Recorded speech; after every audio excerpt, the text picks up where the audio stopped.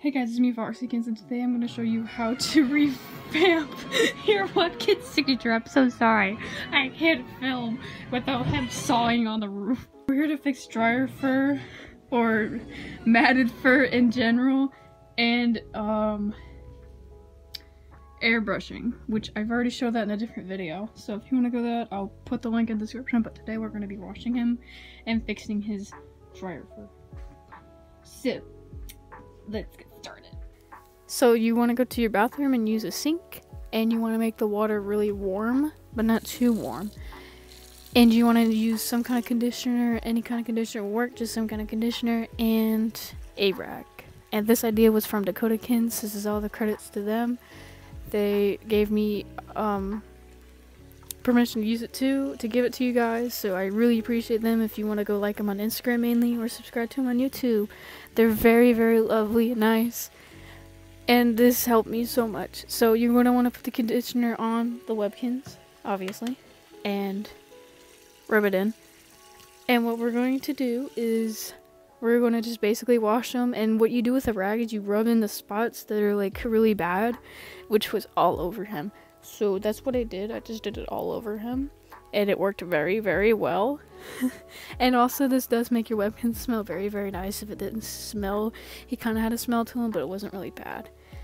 So, after that, you're going to want to throw your towel down and make sure the water is all wringed out of him. Because if not, I don't want him peeing all over the place. So, you're going to want to make sure you got all the water wringed out. And when you put him on the towel, just basically rub him, rub him, rub him, basically. That's what I did. And then, yeah, just do what I'm doing. So if you want to make the process even more faster, you want to get a hair dryer and dry him off. It kind of works. So that's what we're doing here is getting all the spots and drying them off. So yeah, I'm really bad at voiceovers. I apologize.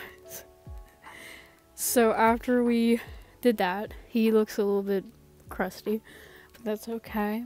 He's still a little bit damp. So you're gonna brush down, you're gonna brush this way maybe, but mainly up and down is what we want to aim for. so I'm gonna do that. Um, I would really do it when he's fully dry. He's kind of just damp. I don't really know if it makes a difference if he's fully dried or not. But, um, I've done this to my ocelot. She turned out pretty good. So we're gonna do this to him. So now we're just brushing him. And if you want to know more about that, again, the link is down below of how to brush him properly. So halfway through my method, I found that he has a hole right here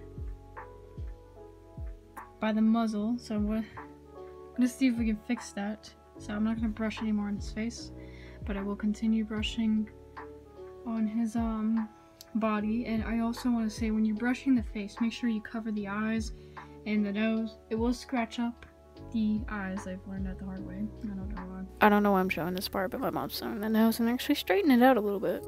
Alright guys, after like a cajillion days later, my mom fixed uh, Soda's nose together. So now he looks like this, and I think it straightened his nose a little bit. He's a little crooked, but I don't judge. So, I'm gonna finish brushing him again, and between us also, my cat threw up on him, so that was great. but, and then we're gonna do the airbrushing, so I'll get back to you. We pulled up a Bernese Mountain Dog photo, and we're gonna do the airbrushing, which I call the star around his nose. That little thing. I call it the star and some on his mouth, and that's it. So we're gonna try to do that and uh, see what happens. So I think this is the best I can do for him. It's not the best, but I don't know if I. So this is Jason, the Bernese Mountain Dog. Um, I am actually so proud how he turned out. And I hope this helped anybody who has any um they want to refurbish mainly their signatures. I hope this helps. I hope y'all see the progress like I do. And yeah, I'll see you guys in the next one. My door cracked. I also just want to show this is the before and after picture. Before is what the seller showed, and then after is what I've done. So I hope you guys enjoy, and I hope this helps. Thank you so much. Bye.